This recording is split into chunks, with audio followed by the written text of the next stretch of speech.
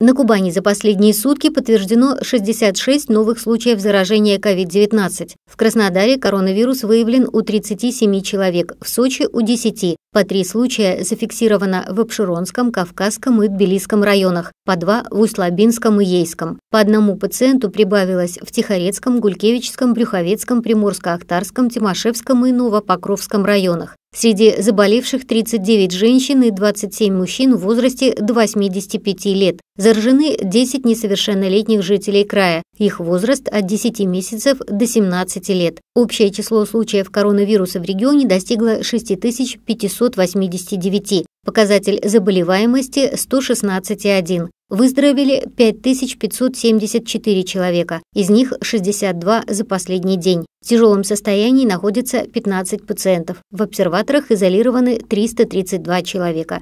Марина Белова, Евгений Холманских, служба информации телеканала 360 «Армавир».